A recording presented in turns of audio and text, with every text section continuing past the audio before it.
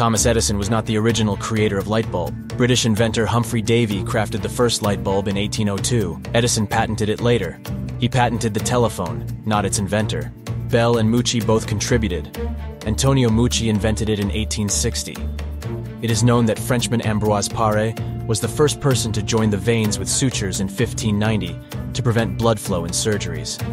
However, 600 years before that, the Andalusian scholar Zehrāwī found and applied it and included it in his book.